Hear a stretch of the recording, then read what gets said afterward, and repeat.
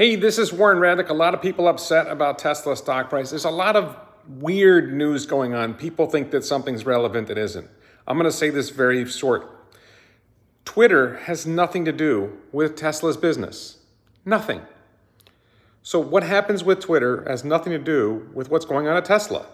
Tesla's making cars, they're growing, they're innovating. Everything that's good about Tesla is still good there's a group of people who are telling a story that somehow there's some Twitter overhang that Elon's involvement with Twitter is somehow bad for Tesla. It isn't. They've been telling this story for months. This is along with all this other media propaganda, anti Elon propaganda. None of it's true. Tesla is growing. Tesla's doing all the right things. This stock is going to the moon.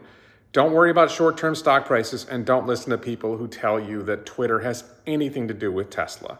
It doesn't.